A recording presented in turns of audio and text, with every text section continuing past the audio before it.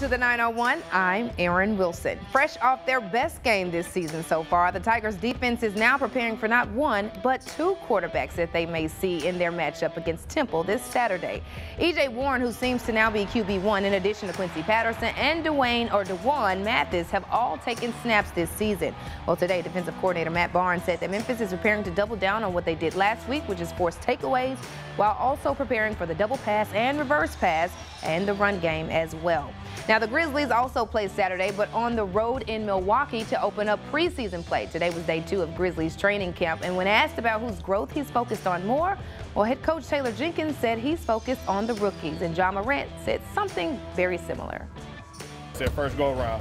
Um, obviously, you know, it might be a lot of, you know, nerves going into it, um, not knowing, you know, what they expect, but, you know, we just try to give them pretty much, you know, the blueprint early so they, you know, not surprised when, you know, coach yell at a certain thing. Is, you know, just telling them, you know, what Memphis Grizzlies basketball is about.